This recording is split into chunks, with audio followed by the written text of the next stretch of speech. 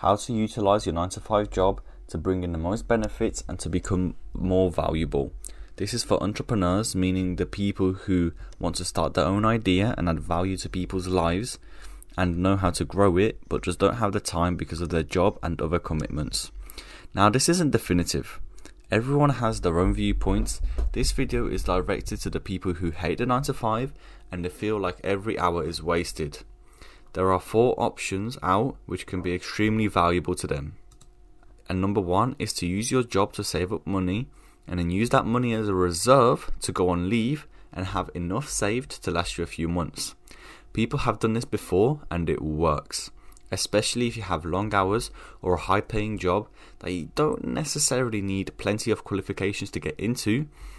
This is for the really confident in their ability that if they had days completely laid out as they wish, they would succeed from it.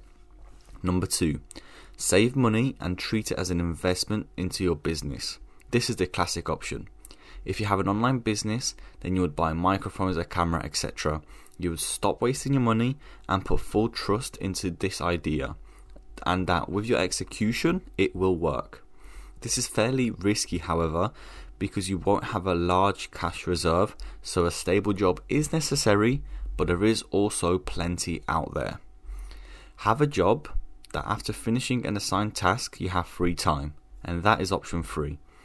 What I mean is a job that predicts to take 5 hours, for example, and you do it in free to an acceptable standard. Now you have 2 hours left to work on your business, etc. This job can be harder to find, so it's not really a very often used option. However, number 4 is very often used, and that's to go into a field which includes valuable skills. For example, rather than putting boxes and items on shelves, you would go into sales and marketing.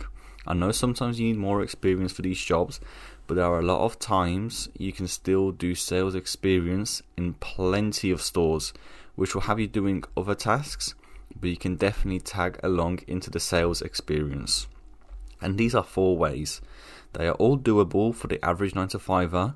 And if you want to become more than a 9 to 5er, start thinking more and start thinking bigger if you think deeply enough and you can follow through with either one of these four methods or think of your own way to utilize your own current situation, you will be able to be an entrepreneur from it.